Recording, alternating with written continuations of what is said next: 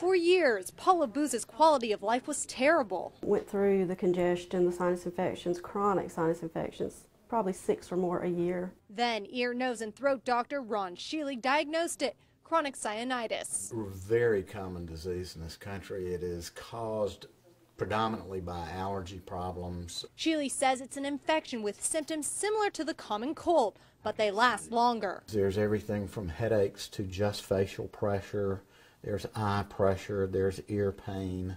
Occasionally there may be some dizziness, um, generally pretty significant nasal congestion. In severe cases like Booz's, patients develop nasal polyps, basically blisters in the sinuses or nasal passages. They, once they are there, create the obstruction that creates the recurrent infection problem. This should all be black, just like this area right here. Sinuses should contain air, not tissue. Booz had two surgeries to remove them and improve her airways, but they came back. Steroids didn't work either. So Sheely tried a new treatment, Propel, an implant that expands to prop open the sinus and deliver anti-inflammatory medicine to the sinus lining.